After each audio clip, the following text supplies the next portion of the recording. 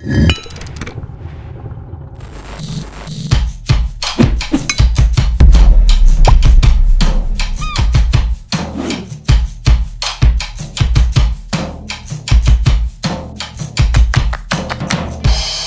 הפליטים היא מין צל שכולם כל כך מפחדים ממנו אה, ואני אומר להפך, יש כאן המון אור, יש בתוך ישראל 160, 170, 200 אלף אנשים שהם אזרחי ישראל והם פליטים כאלה ואחרים של 48 עקורים.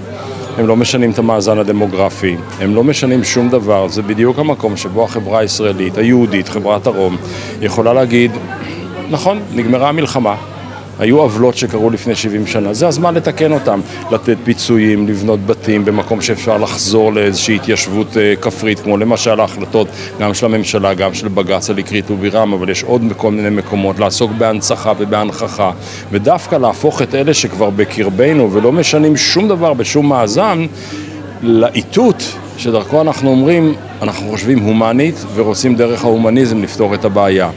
לצערי, מי שעומד בראשות ממשלות ישראל בשנים האחרונות, גם עבודה וגם ליכוד, לא חושב הומנית ולא רוצה לפתור את הבעיה. כי בסופו של דבר הרעיון המנחה את החשיבה המדינית והפוליטית והזהותית של הרעיון הציוני זאת חשיבה של בידול והפרדה, היא לא מחשבה של אינטגרציה והשתלבות. תראה, זה נורא קשה, משום שכשאתה חושב על הערימה, אז הערימה אומרת, יש את כל המזרח התיכון שהוא לא יציב, בתוכו יש לנו את הסוגיה הפלסטינית שהיא לא פתורה,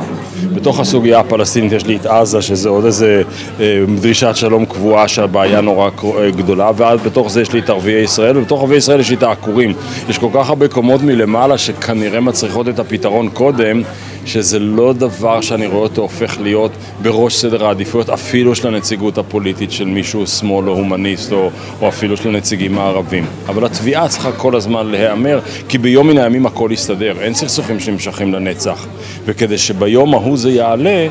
אה, צריך לשמר את זה בתודעה.